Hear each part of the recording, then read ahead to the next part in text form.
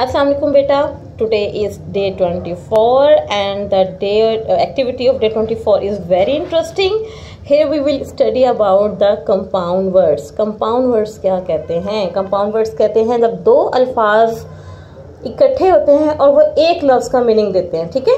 जिस तरह मैं कहती हूँ आयरन चेयर लोहे की कुर्सी वुड चेयर ठीक है? आप कहते हो ब्रांड सूट कह देते हो तो ये तमाम दो वर्ड्स होते हैं अलग अलग लेकिन जब इकट्ठे होते हैं तो वो एक मीनिंग देते हैं, ठीक है?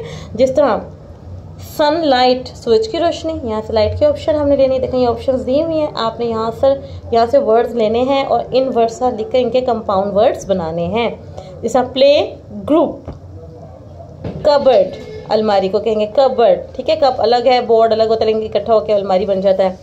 बर्थ डे बर्थडे ठीक है? बेड टाइम सोने का वक्त फुटबॉल फुटबॉल को कहते हैं, ठीक है? ये तमाम कंपाउंड वर्ड्स हैं और बहुत इजी हैं। आपको पता चल गया होगा कंपाउंड वर्ड्स के बारे में, ठीक है बेटा? Take care